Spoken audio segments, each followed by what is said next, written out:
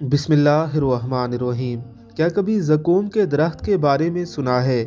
परवरदिगार कुरान मजीद में फरमाता है, उसके खोशे शयातीन के सरों जैसे हैं। ये दरख्त सऊदिया के शहर रियाज के शमाल में उगता है। जकूम एक दरख्त का नाम है, जिसका मज़ा बहुत तलख होता है। बदबूदार है और तोड़ने की सूरत में दूध जैसा रस निकलता है। जिसम को लग जाए तो वरम हो जाता है। मुआजना है अल्लाह के मुखलिस बंदू और मुनकरीन का। मुखलिस बंदू के लिए जन्नत की नेमतों में कैफो सरूर की ज़िंदगी है और मुनकरीन के लिए जकूम जैसी चीज़ों से सरोकार होगा। अल्लाह माउज़ बिका मिन अजाब जहन्नम।